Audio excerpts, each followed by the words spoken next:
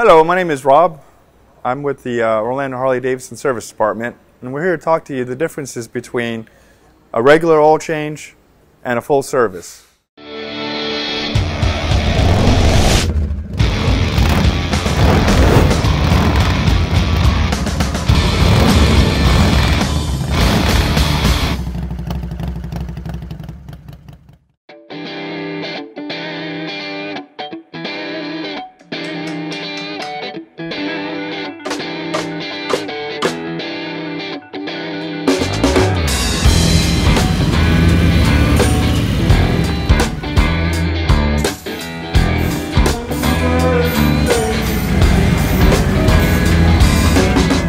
Harley Davidson recommends doing full services at certain mile intervals. The first one, the most crucial being at the 1,000 mile service, and then after that it's every 5,000 miles. When you come in simply and ask us for, a, for an oil change, we change the oil filter and we drop the engine oil, but we neglect the rest of the motorcycle. If you look in your owner's manual, you will see that there are certain things that are recommended to keep your motorcycle running and operating at its optimum.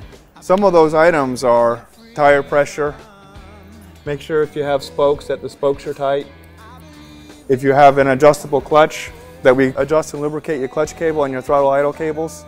In Florida, we, uh, we live in a uh, high humidity area, so the cables are known for gathering corrosion, so we put an anti-corrosion lubricant in the, in the cables and we adjust them back to the factory specifications. Every 10,000 miles, we change the spark plugs. We also checked your tread depth. Like this tire right here should, should be replaced. It's, it's below 3 32nds of an inch as indicated by the wear bar.